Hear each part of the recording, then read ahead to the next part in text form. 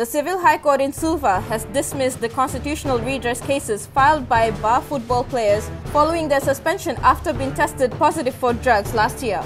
So Lawanga and Manasa Nawakula had filed constitutional redress claims against the president of Fiji Football Association, Rajesh Patel, and association's chief executive officer, Muhammad Yusuf a Catholic priest of Levuka who was charged for disobedience of lawful order for holding a church service of more than 20 people, has been acquitted by the magistrates court in Levuka.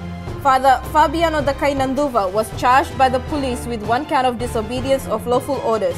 It was alleged that Nanduva with others on 22nd March 2020 at Levuka, without lawful excuse, gathered at Toko Church for the purpose of a church service which failed to comply with the order issued by the Permanent Secretary for Health and Medical Services prohibiting any form of gathering. A 24-year-old man who is accused of stealing cash and assorted items from Shah's Ezy Buy shop in Vatuwaqa has been remanded in custody by the High Court in Suva.